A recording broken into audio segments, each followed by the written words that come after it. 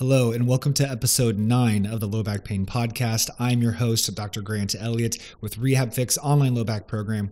And today's episode is all about the benefits of an inflamed disc, why you may want inflammation around your disc or your disc herniation, and why an injection to reduce inflammation or anti inflammatories to reduce inflammation could actually be a bad idea. Crazy, I know, but we're going to get into it. Before we get into today's podcast, if you are watching on YouTube, you probably notice I'm in a different room than I normally am. The last few podcasts were recorded in my old home. Actually, we moved a couple months ago. So we are recording in a new space. I also have a microphone now if the audio is better and you can appreciate it and you're watching on YouTube or on uh, or listening on your favorite podcast platform, please give us a rate and review or like this video, subscribe, leave a comment for the algorithm uh, if you appreciate these changes and uh, the potential better view and better audio that you might be experiencing. I plan to continue to uh, upgrade these accessories and these assets to improve this podcast to the best of my ability. And I appreciate all and any support that you might show. So today's podcast is all about disc related things, disc herniation related things, inflammatory related things. Last week or last week's podcast, we had discussed how implementing a particular habit into your day, a 20 second habit, could be quite beneficial for maintaining disc height and disc health throughout your day to reduce stiffness, to reduce disc pain, and to improve overall well being. Where this week we're getting a little bit more into the science of things of if there is a significant disc injury and you are in a particularly sensitive state, what we can do about those situations and some knowledge behind why we want to address these things in this way. So, the topic of today covers a study. This study was in 2014 and dives in really deep into the benefits of an inflamed disc or an inflamed disc herniation specifically. So, we're still going to break this down in a very simple and applicable way, but we are getting a little bit more sciencey with this one. Uh, for you guys out there that like that thing and appreciate it, let me know. Leave a comment somewhere uh, if you kind of like us diving into these things. But we're going to keep it very, um, very simple and practical and get to the point as always. So let's get into it. Inflammation is typically seen as a bad thing, right? Oh, inflammation. My back's inflamed. My disc is inflamed. Oh, it's bad everybody has a negative connotation with her with the term inflammation, but uh, inflammation is a natural response by our body, right? We are supposed to have inflammation to a certain degree. I'm not talking about systemic inflammation due to uh, highly inflammatory diets or you know prolonged use of other drugs or things like that. That's not what I'm referring to. I'm referring to the body's initial reaction to injury inflammation is designed to help with injury, but we really put a bad reputation on inflammation, and sometimes it can be a very, very good thing for us. I know this is not the topic of today's podcast, but we know that ice, for let's just say ankle sprains, is not helpful. Um, ice slows down the recovery of many injuries, and we actually want inflammation for multiple multiple reasons, some of which do bleed over to today's conversation regarding disc herniations. So, we're going to challenge some thought in regards to what we thought we should do for disc related issues and as for inflammation as a whole.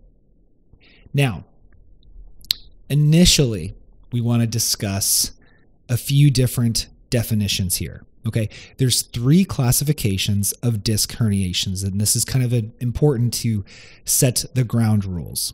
All right, a protrusion is when the nucleus pulposus, so the nucleus pulposus, we're going to define the anatomy of a disc. Okay, the nucleus pulposus is the inner liquid of a disc.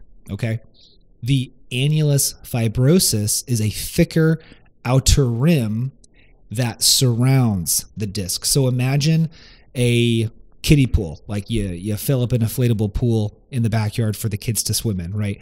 The water inside the pool is the nucleus pulposus. The container itself, the inflated outer rim of the pool, is the annulus fibrosus. When you experience a disc protrusion, it means some of the rim, some of the annulus is slightly torn, and the disc is starting to push towards that. The nucleus pulposus, or the disc material, the disc matter, is starting to push through those tears on the annulus and is starting to go towards an outward trajectory. It hasn't gone through, it's gone partially through. That is a protrusion. The next phase is extrusion. An extrusion is where that rim of the pool is broken through, but water is not completely pouring out and completely separated yet. It has gone through, but the disc is still intact. So the disc is still all connected, but it's broken through that outer rim.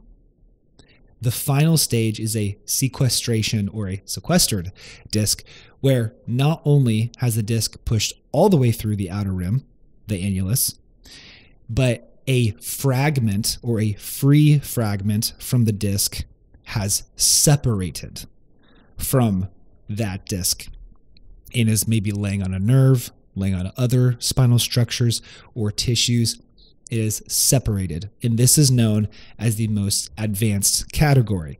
Now, I use that terminology reluctantly because what we know is that I don't like saying the word advanced because what we've actually found and what the study continues to show is that the size of the disc herniation, the quote advancement of it, does not relate to symptoms always and does not relate to the prognosis either. In fact, they find the quite opposite of the advancement of the disc versus the outcome. They find that the greater the disc herniation is, the higher the chances of recovery you have. So typically, if you do have a disc issue and you get an MRI and they tell you, oh, it's really, really bad, it's an extrusion or it's a sequestered disc and it's really pushing out and leaking out, we usually think, oh, that's a bad thing. Doctors usually tell you that's a bad thing. We have to address this immediately. But the evidence shows it's not a bad thing. You actually have a higher chance of recovery. So do not be afraid of this. A larger, quote, larger disc herniation does not mean a worse disc herniation. That is not what it means. It is completely dependent on that individual, on their neurological symptoms, on their motor deficits. These are the things that determine the degree of a disc herniation, not the size of it on an image. You do not want to let your care be determined based on what a picture shows. It should always, always, always be determined based on your assessment. And these are things that I talk about with my online clients all of the time. Now, Let's get into it. So we know that the larger the disc herniation is, they tend to regress more. We know the anatomy of a disc herniation. So let's get into the inflammation process and what this paper really discusses. So first off, what tends to happen is you, you have a PLL. It's called the posterior longitudinal ligament. It aligns the back of your spine. It goes along the back of the vertebrae and it kind of provides a support for those discs so that they don't um, easily uh, push through. It's a little bit of a back support, if you would. And what they found is that PLL rupture, posterior longitudinal ligament ruptures, relate to recovery more than the size of the disc, which is what we just discussed. So, uh, more, you know, seemingly more damage, more rupture to these ligaments, they tend to have a positive feedback to the chances of recovery, which is quite remarkable. We think, oh my gosh, more damage means worse. But no, it doesn't necessarily mean damage. It doesn't necessarily mean worse. Now, that's just the supporting structure uh, from a ligamentous point of view behind the disc. What's interesting here is when tracking individuals with disc herniations, they found that all individuals who suffered a sequestered disc, remember, this is supposed to be the worst disc herniation, all of them resorbed within nine months. Nine months, all sequestered discs were resorbed, meaning the disc healed. It healed. It went back to where it's supposed to be. The free fragments are no longer. Now, an extrusion, the quote, second worst one, not the worst one, the second worst one, it took 12 months. It took 12 months for majority to be recovered. Now, the protrusion, remember, this is supposed to be the most basic one, the non threatening one. They actually found no signs of regression. Now, that doesn't mean if it doesn't regress or it doesn't resorb, then it's still a problem because we must remember there are many asymptomatic findings of disc herniation on an MRI. So, just because you have a disc herniation does not mean you have a quote problem, does not mean you will have pain, does not mean you will have injury in the future. There are many, many, many asymptomatic disc herniations and asymptomatic findings overall with musculoskeletal imaging, especially spine imaging, more focused in the lumbar spine for today's context. So, just because there's no signs of regression does not mean it's not healing. It just means it's there and it might not be causing a problem at all. But the point here is that sequestered discs recover the fastest, they resorb the fastest, which is the point of today's topic. Now, overall, inflammation inflammation increases blood flow. Right? That's what it is. swells up, gets all puffy and red. It increases blood flow. Now, that's a good thing, right? Everyone always wants to get more blood flow. That's why there's all these fancy devices out there to try to increase blood flow to different areas, whether it's massage guns or different devices, right? So when there's higher levels of blood flow around the free fragments of a sequestered disc, this can be seen using gadolinium. Gadolinium is a is a substance used for MRI imaging to look at enhancement of different areas. So when there is higher levels of blood flow, it's always associated with free fragments, which are a result of sequestered discs when used with imaging, when gadolinium is used with imaging or with an MRI. And the higher the gadolinium enhancement, the, the greater that MRI shows this blood flow, the higher the resorption rate. So there's more inflammation with sequestered discs, more blood flow, and therefore they find discs with more blood flow have a higher resorption rate. All good things, if you ask me. Now, also, what they found is that, and this is kind of a side piece here, is that many individuals with a quote bad disc herniation are often rushed to surgery. Oh my gosh, you need surgery right away. You have a sequestered disc. It's a problem, right? Something very interesting that they found is that very early or premature surgery for a sequestered disc or for a disc that is leaking material onto a nerve, obviously that's going to cause pain. We all know that. We, we already know that. Earlier premature surgery can provide rapidly rapid relief because you are obviously uh, removing surgically, invasively, the structure that is causing the pain. But, but in the long run, within that 9 to 12 months period, it turned out to be the same outcomes as conservative therapy or rehab. But the prognosis, even longer than that, we're talking one, two, three years down the road, then it inversely transitions to in favor of conservative care or rehab. Because once again surgery does not fix your movements. It does not fix your habits. It does not fix your mobility your strength or any of these things. It does not educate you but a proper rehab program does this is why I do what I do and why I've had many clients who have already had surgery where the pain comes back around that one to two year mark. This happens very frequently. The three theories behind this inflammatory process and why we want why we might want inflammation around that disc is comprised in these three points. One, first theory, is that the fragment, the sequestered fragment, reduces in size due to dehydration and shrinkage of that free fragment, right? It's separated, it gets dehydrated, and it shrinks, it goes away.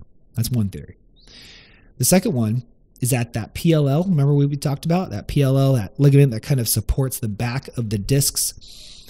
The tension applied by that pushes the disc fragment back into the intervertebral disc space. It pushes that disc back in. So it kind of provides that support, pushes it back in, and that's theory number two.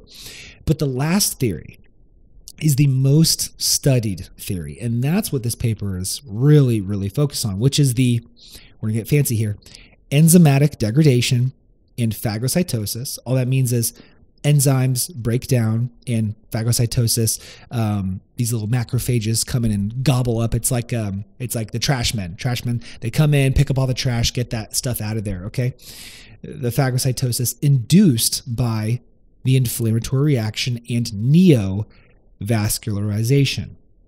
We're going to break this down. So. The intervertebral disc, the disc, is the largest avascular organ in the body. It does not have blood flow. It is not vascularized, or regions of it are very, very, very minimally vascularized. What's unique here is the nucleus pulposus, the disc itself, is considered an immune privileged substance, meaning the immune system does not recognize it. And this is part of this process. So, when a fragment of this disc, when a sequestered disc goes into the epidural space where that spinal cord is, it leaves the disc, that fragment breaks off, it notifies your body, it notifies your immune system that there is something that it does not recognize in a very crucial area. And your body attacks it through inflammation. That's the entire point of this paper, of this topic. So, what occurs here is these immune privileged sites, these nucleus pulposus, the free fragment from that disc that is now in the epidural space, that is not recognized by the immune system, it will contain cells from the tumor necrosis factor family. Tumor necrosis factor is a family of cytokines that is involved in major inflammatory processes. So these inflammatory processes, these cells, are uh, ready for apoptosis, uh, basically meaning cell cell death. Okay, they're ready for cell death of all these invading cells um, from this free fragment. They're they're prepared to kill off those free fragments and to get them out of there. That is their job. So these macrophages that are responsible for phagocytosis. They come in and clean up all the garbage. They clean up all the mess that's not supposed to be there. Your garbage cans aren't supposed to be in the or your garbage bags are not supposed to be laying in the middle of the street, right? They're supposed to be nicely placed next to your driveway in your trash cans. So if it's laid out there in the street, you know, not a good place. Someone's going to come, put it where it's supposed to be, get it out of there. Okay. That's what these macrophages do. These macrophages uh, contain lysosomes. Lysosomes are collagen degrading enzymes because majority of your disc material is made from collagen. Okay, they're, they're very, very tough structures. So this specific enzyme degrades the collagen, degrades that free fragment that is in that epidural space that's not supposed to be there.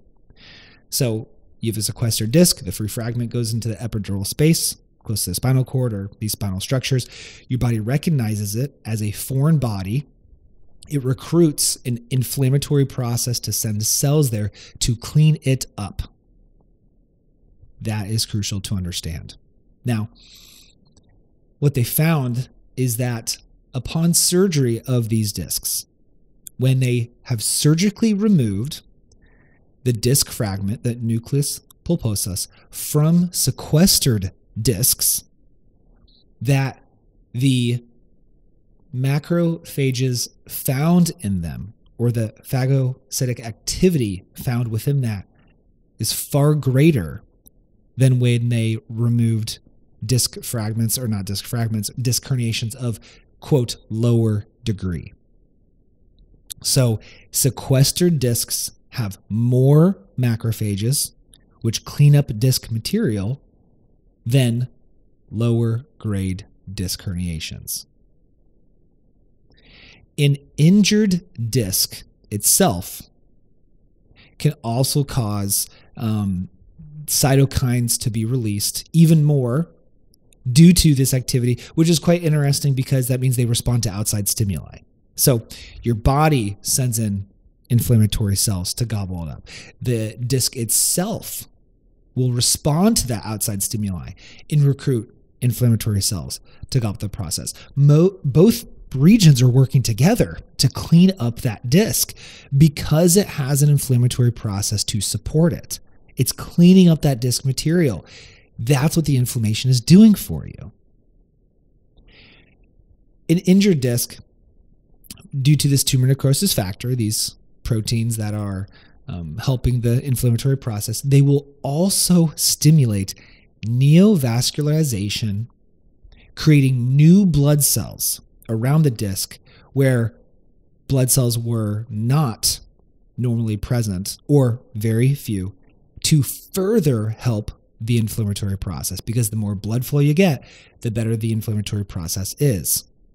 So, all these chemical reactions that are occurring due to this disc herniation are helping to remove the disc, recruit all these cells to recruit the disc, and even creating blood vessels where they weren't originally found to increase blood flow even more, to increase inflammation even more, to further enhance this process to boost your chance of recovery and to clean up that disc material. Our body's crazy, guys. Our body knows how to heal when it's put in the right environment. Okay. This is a really, really cool concept. Now, what the overall conclusion is here is that inflammation can be a very, very good thing. It can be a very good thing. But when is it too much, right? When should it be stopped?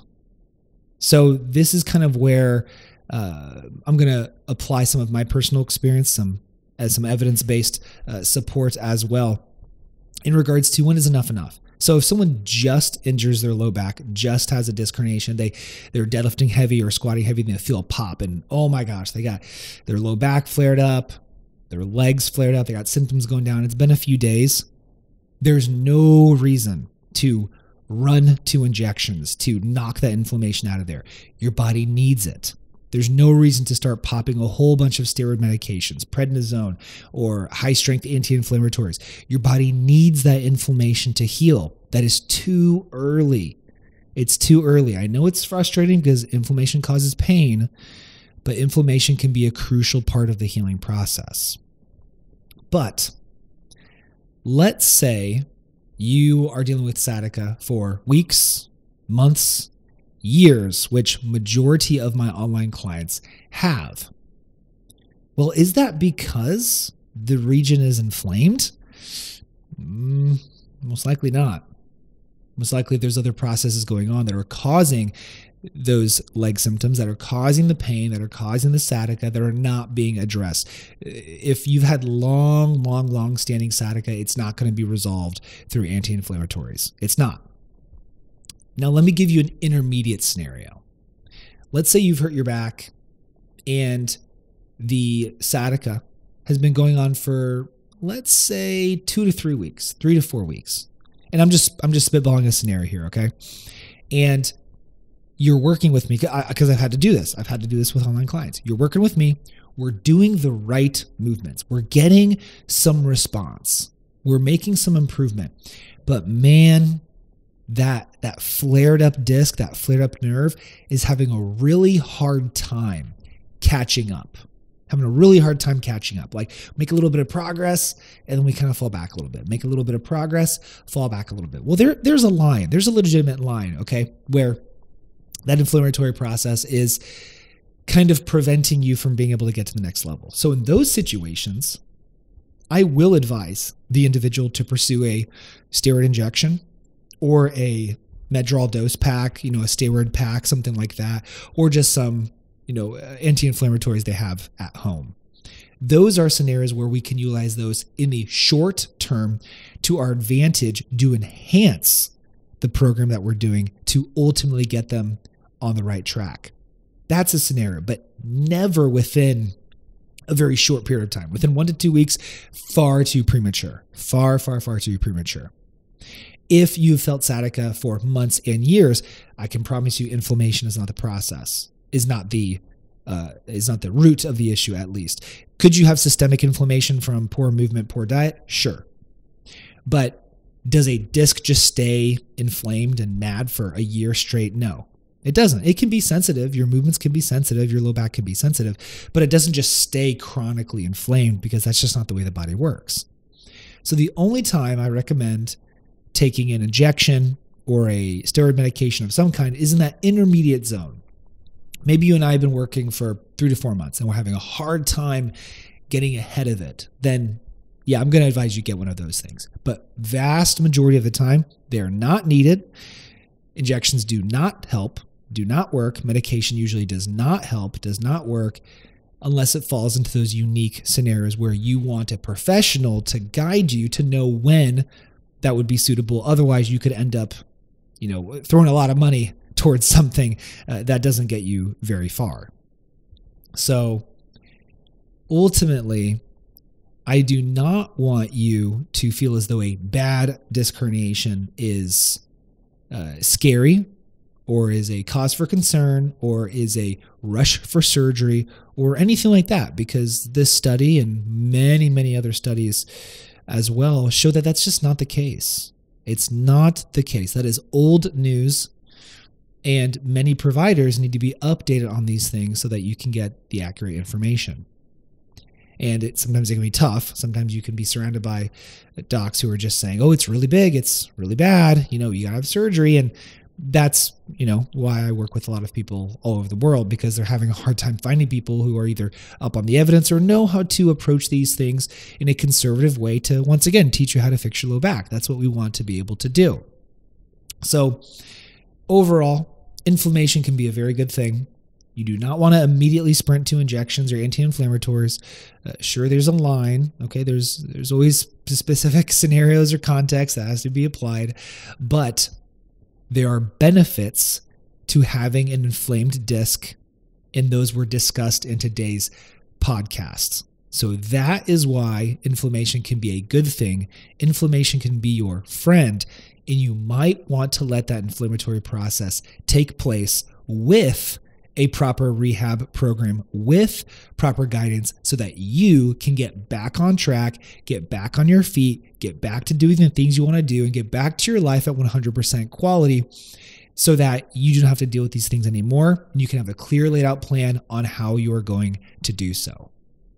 If you enjoyed this podcast and you learned something from it, please rate and review the podcast on iTunes. If you're watching on YouTube, please like, please subscribe. Please leave a comment for the algorithm.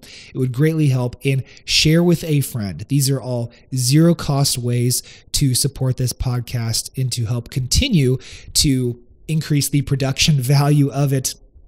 And also, if you have any podcast ideas, please leave in the comment as well. I would love to read those and make more episodes on topics that you find most valuable. Otherwise, if you're out there and you are struggling with disc related issues, let me know if I can help. I will leave a link in the description of both the podcast and on YouTube uh, for an application if you would like my help and you are struggling to find the help that you deserve and you're being told that your discs are bad, your images are bad, and you need surgery and you need injection. That's the only way out of these situations. That is not true a vast majority of the time. And I would love to help you if you are in need or anyone else you might know that is looking for help. Otherwise, let's continue to learn more about our bodies. Let's continue to learn ways that we can fix ourselves and empower each other to one by one reduce the number one low back disability in the world, which is low back pain. Thank you very much. Have a great day.